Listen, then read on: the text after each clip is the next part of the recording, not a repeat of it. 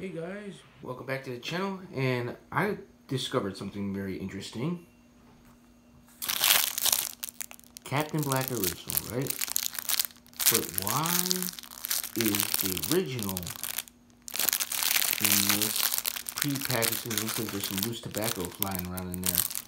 Uh, yeah, I don't understand why it's got this extra bagging on it because when I buy any other tobacco from Captain Black, it's just like this. Same thing, but why the extra whoop-de-doo, you know? I don't know. Maybe someone can answer me that question.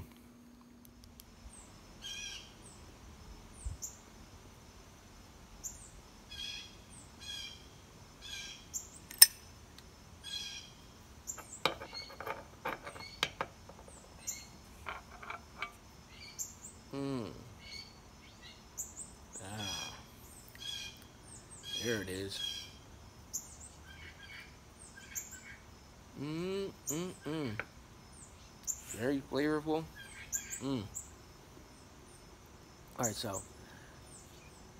I just decided to make a video on this. Um, obviously from the beginning you saw how it was wrapped, which is which is strange to me, because none of the other ones were, but when I opened it, it wasn't sealed. Like, because it was in that pouch, that's why there was some loose tobacco, because it's not sealed. When I opened it, you know how if you get the cherry blend, like that cherry blend, I open it like this, this is sealed, and you gotta rip it, you know, rip it open. This was just already open, so it's just like, boom, there. So maybe that's why they do it, but I don't know why they do it just with the original. And I've noticed it, um, well, I haven't noticed it. I mean, it's been years. This is, uh, let me tell you how many years, okay, since I've had Captain Black. Now, in my smoking journey, or whatever you want to call it, when I first started smoking pipe, I used to do a lot of uh, aromatic stuff. And a lot of the aromatic stuff that I did was just uh, free free tobacco, sample tobacco that you get when you're at your local smoke shop. And you say, oh, you get a little pinch of this, you get a little pinch of that. And the guy didn't care, you know, I'd fill my bowl, you know, smoking whatever, you know, because I bought cigars there. So, you know, it was pretty cool. And uh, so I don't know if I ever really did buy over the counter. It's been so long that I don't remember. But the last time I bought Captain Black Original that I can remember was in my smoke shop in its final days before it, you know, folded. And uh, now it's like one of those retro uh, pot plate, you know, marijuana places where they sell all, all the, you know, glass pipes and things like that. And, you know, they'll sell, they, I don't even think they even sell pipe tobacco. They sell cigars. Uh, but I've never really gone in there looking for pipe stuff. If you look for pipe stuff, you're getting vapes, you know, and marijuana paraphernalia. Not my type of pipe. Anyway, so before my smoke shop closed down, I had this pouch of Captain Black this, let me tell you about the prices too back then. All right, like, okay, so it's been like like maybe five years or so, maybe, you know, maybe a little bit less than five years. But I paid twelve dollars for Captain Black. Okay, like like it was like this high end pipe tobacco, but that's what the prices goes here in South Jersey. Like I don't know buying Captain Black around here if it was ever in one of these you know places or if I can find another brick and mortar that sells regular pipe stuff and cigars, um, I'm not sure how much it would go there. I don't know why it was still marked, like the sticker price was $12. I remember. Now, did I pay that? Did he give me a discount because I bought cigars? I'm not sure. But the sticker price was $12. And right now it's only 8 something and change on uh, any website that you go to. So, but this thing as you can see this is white right? Well from the years of this that pouch sitting in in the smoke shop was like like like like off off white like a bone white from all the nicotine smoke right? And permeated the packaging all right? That's how and I don't remember if it was dry it was aged. Let me tell you, it was some aged pipe tobacco. But of course, there was no YouTube back then, or at least I wasn't involved with it. So, be good to do a review on that that that, that pouch now, but um, you know, really see what it's about. But um, yeah, I don't know if it was dry or whatever, but what I've noticed, this is drier than you know the cherry blend or something like that. Um, definitely, and this is the funny thing. Now I don't know if you guys get this, but I do. When I smell the packaging, to me, I get chocolate covered, chocolate covered marshmallow. It's weird. It's weird. It's strange, but that's what I get. You know, like uh, I don't know any type of confection, like those. Uh, uh, I don't know what, what they're called. Those, those, those, cakes that when you open up the packaging, it, it's a, a big, you know, circle cake. You know, but it's completely what like a marshmallow or I guess any type of candy that has, has chocolate covered marshmallow on it. Yeah, that's what I'm getting. Now I don't get that when I smoke it, but I do get it when I smell it like that.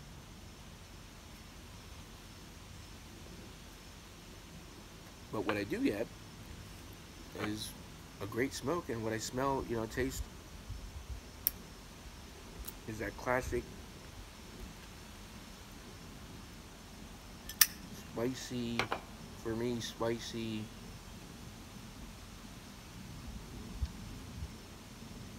It's hard to describe. It's Captain Black. I'm gonna, say it's Captain Black original. That's what I get.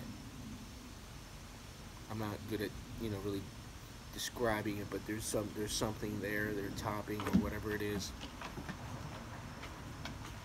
Mm. It just gives you that, like a warmth feeling It's very good. Goes very good with coffee. But yeah. Definitely an OTC that stand the test of time. I mean, this wasn't my go-to back in the day, obviously, because I was more of an aromatic, and I still am, I believe.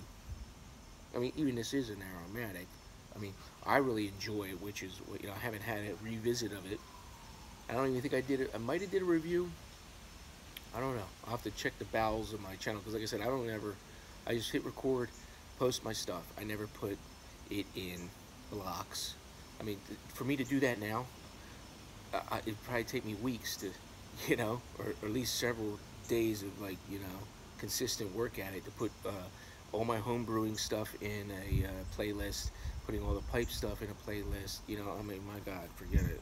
It's, it's not even worth it. So, uh, if I do find a link to it, I'll put a video link to my uh, review of uh, Peterson's. What is it, man? I, I, you know, I don't think I did the reviews on them. I had the, the dark one, the black Cavendish one, Peterson Black. I'm Captain Black Black. Uh, I did. I, I had. Uh, what's the one? Royal.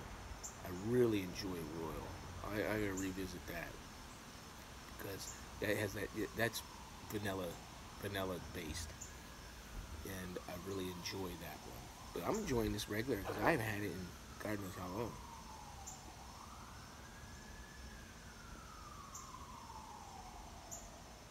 Mm-hmm. Is there a nuttiness there?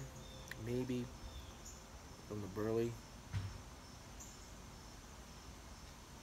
But it has that essence and that taste of whatever that is. And I am picking it up and I can't, I can't describe it. You got, I mean, especially you guys who smoked this for years, you know what I'm talking about. Really good. Can't go wrong. Stays lit. It's not overly wet and it's not overly dry either. Oh, I wanted to ask you guys, is there a way to tell, like, for instance, when I picked up that ancient, the Captain Black that was sitting on the shelf for years, is there a way to tell when these were packaged? I mean, I know there's all these codes. Like I got this, you know, 2DF271, and then an 11, almost like a timestamp, 1108. Now, if that's the time in the morning that they made it, or is that November 8th? You know, and then all this other gibberish. I mean, I have no idea. And the same thing with, uh, see, I have the, it's a big code on this one, but on the cherry, the cherry tobacco, it's a, only a little, you know, it's real small and on the on the tape. So I don't think I don't I really don't know how to tell when these were packaged. I'd be interested to know how, even how old this one is. You know, I mean,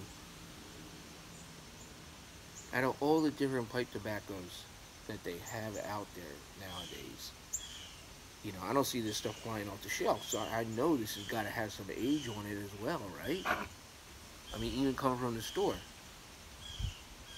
Because nobody, I mean, when you're going online, you're always either looking for something new, unless you, you know, have your rotations, which we all do, and I do as well.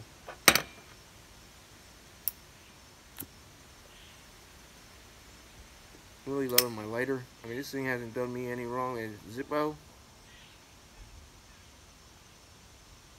Zippo armor plated. I've showed this on the channel. It's my uh, Necronomicon. You know, the Mythos HP Lovecraft lighter. It's the most expensive. Yeah, most expensive lighter I've ever bought. And I'm it's getting it. You know, I'm getting my money's worth because it's all I use.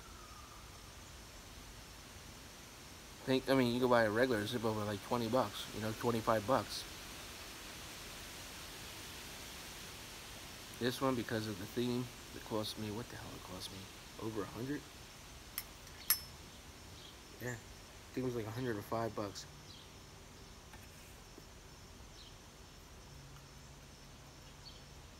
But anyway, so that's my story about Captain Black. Hmm. Yeah, there's like a, I don't know, I just got right there spicy cedar note, almost.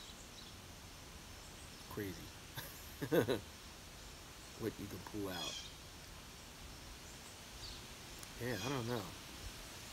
Something there, but I'm really enjoying it. So I'm really gonna sit back and enjoy this stuff. Uh, I finished. I finished my tin of uh, Peterson Sherlock Holmes. So I got this cherry. What am I gonna do next? Oh, I still have some. I still have some uh, English blend from the Amphora, but I don't know what I'm to smoke next, or what I'm going to order next. Because I got this for a little bit. But I guess that's it, man. So till we do it again, my friends, remember, let's set sail.